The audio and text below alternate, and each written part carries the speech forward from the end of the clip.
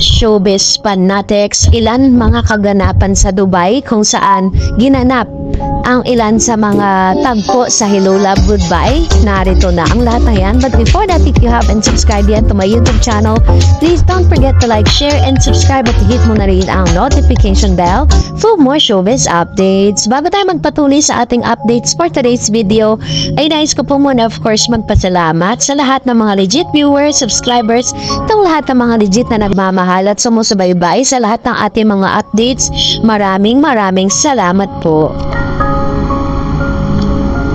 And for today's video, let's talk about this one kasi matapos pong umugong ang uh, tambalan at ang uh, ilan sa mga latest news dito po kay Alden Richards at Catherine Bernardo ay patuloy pa rin silang iniintriga patungkol po sa itinatago nilang relasyon. Pero this time, ay paulit-ulit nang sinasabi ni Mr. Alden Richards that whatever they have, no, kung ano man yung meron sila ni Miss Catherine, ay pinipilit nilang maging personal na lang ang lahat ng ito. Pero dahil po dun sa kanilang popularity, ay hindi po talaga maitatabo, no, kung ano ba talaga yung real score nila. Kasi bawat keyboard sa bawat pinupuntahan nila, sa bawat mga photos and videos na naglalabasan, ay talagang hindi mayaalis ay lang mga fans na mag-isip at magtanong kung ano na nga ba talaga ang tunay na real score between them.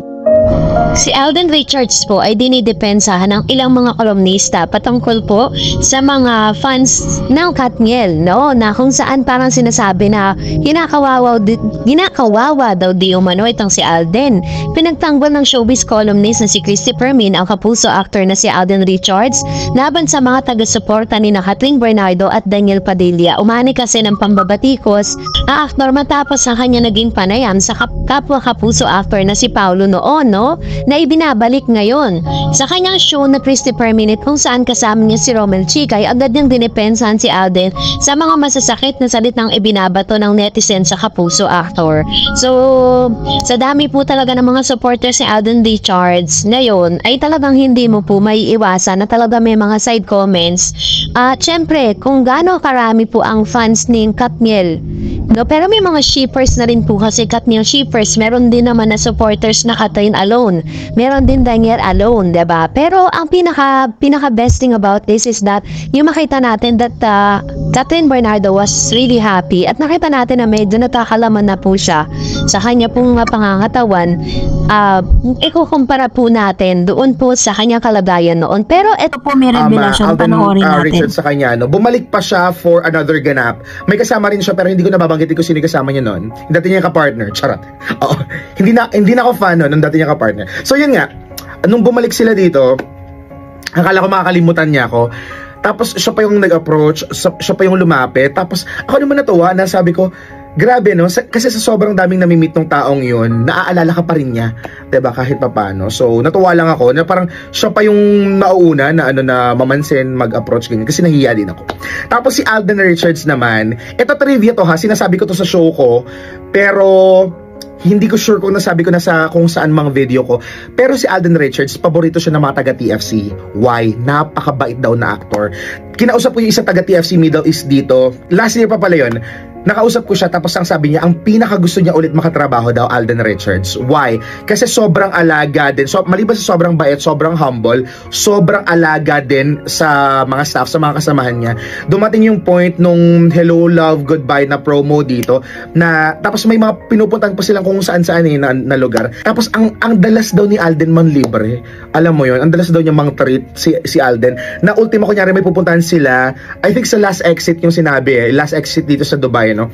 Tapos lahat daw ng ano ng staff ng TFC nilibre niya ng coffee. Ay, alam mo yung maalaga talaga na parang hindi mo na kailangan gawin pero siya yung nag-step up to ano to treat everyone na tingnan kung okay nga lang ba yung ano okay nga lang ba yung lahat hindi ba pagod ganyan etc so paboritong paborito ng TFC Middle East si Alden Richards. Kaya ako na-excite ako na kung sakaling matutuloy ito for sure magkakaroon ng international screenings kasi syempre Catherine Alden to 'di ba? Tapos wish ko sana bumalik ulit sila. Tapos gusto kong i-recreate namin yung photo namin dito kasi ginawa ko yung ano ginawa ko yung profile picture for a time. Natutuwa rin ako and medyo nagtataka kasi nitong recent weeks, ang daming nagla-like doon sa Instagram post ko na yon. Nasabi ko, bakit ngayon lang kayo nagla-like? Ang tagal na niyang, pre-pandemic pa yan ha, tagal na ng photo. So yun pala, kasi di ba nga, ano, medyo na, ano ulit, naha-hype ulit ang cat din ngayon. So, so yun lang naman, gusto ko silang ma-meet ulit and very excited na ako kung sakasakaling mapapalabas to, ka-explain with, um, Abis na kinahangaan itong si Alden Richard sa si Catherine Bernardo ng ilang mga staff and crew at ilang mga behind the scene or uh, ba- back of the camera, no? Yung mga nasa likod ng camera na tumulong sa kanila para maisa katuparan ng Hello Love Goodbye kung saan ipinakita nila kung anong klase ng artista at actors and actresses itong si Alden at si Miss uh, Catherine Bernardo. So sobrang pasasalamat niya dahil sa tinagal-tagal nga ay talagang na-recognize pa rin sila ni Catherine at ni Alden Richard sa bagay na hinangaan ang dalawang actors and actresses. So yun po ilan sa mga aganapan pala sa Dubai nung sila po ay nagtitaping. At dahil dyan, mag-react naman tayo sa ilan sa mga komento ninyo patungkol sa ating latest updates. Unahin natin ang komento mula kay Plody. Kaya siguro hindi na sinuot yung singsing ni Alden na hindi na aalis sa kamay maski saan siya pa magpunta. Yan ang dahilan na marami nagbabasya kanya. O baka wala na sila, dapat kung mahal niyang isa't isa, wag pansinin ang panindigan nila kung ano ang meron sila, ba? Miss Dareds, God bless you, go go lang. Ayan. So ang aking point of view with regards to this, nasabi ko na rin po to sa aking mga past vlog. Kaya po hindi suot ni Mr. Alden Richards yung ring, yung black ring na sinasabing parang nagko-connect kay Alden at kay Catherine dahil nga hindi po yun yung nababagay na parang may kanya-kanya kasi silang mga stylish. So, eh, for example, formal po yung pupuntahan, hindi po kailangan naka-black ring, tatanggalin talaga. But it doesn't mean nag, nag nagkaroon na po ng disconnection between them. Sabi naman ni Anastasia, kung maniligo man si Alden Hart, ay wala nang pakialam si Daniel. Tapos na ang storya nila ni Kat. Hayaan natin maging maligaya si Kat at Catherine. I love Catherine. Ayan. Totoo naman, di ba? Wala pong pwedeng pumigil at wala pong pwedeng humadlang kung ano man yung magiging desisyon ni Alden Richards kung ipopush through niya si Catherine. Ganon din naman si Catherine, wala rin naman pwedeng pumigil sa magiging desisyon niya kung sasagutin niya si Alden Richards kasi may sarili po silang buhay. Diba? At tayo po yung mga taga, tayo po yung mga supporters lamang. Sabi ni Coco Channel, fans and followers, friends, okay, look you, look you all want to have your idols for real, but they are human being, they are intelligent people, they have their own mindset, they go follow their dreams and desire, especially their heart of what is good for them. If it is draining and toxic, no more na. Even for how tagal the relationship between two people, if you are not happy, move on na. It's better to have your true love stay together. True, di ba? Mas masarap po talaga na doon ka sa tamang tao at makikita mo talaga na yung itsura ng isang tao na alam niya nandun na siya sa tamang tao. Meron po silang uh, video sa TikTok na nagte-trending ngayon at pinapakita dito yung mga nagiging uh, itsura ngayon ni Catherine at kinukumpara dun sa past, ano. Pero wag natin masyadong i-judge. Naging masaya din naman si Catherine sa piling ni Daniel. Sabi naman po ng isa pa, ay sabi pa niyan, even for how tagal relationship with two people, if you're not happy, move on na. It's better to have your true love stay together and dream about your future in life together and kind of put up you your special career, your dream of with happy ending. Ayan. So ito naman yung kanyang wish na para po kay Kathleen Bernardo at Alden Richards.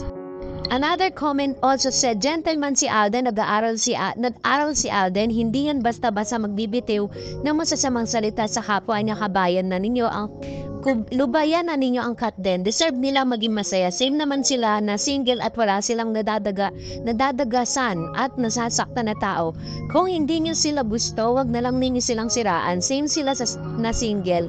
Heart, heart, heart, we love you cut din na yan. Totoo na malag, katulad ng lagi natin sinasabi, kung hindi nyo po kayang suportahan, wag nyo na lang siraan. And that's it for today. For more videos and updates, please don't forget to like and subscribe. And please don't forget to follow my Facebook page, Star Eds TV. God bless everyone.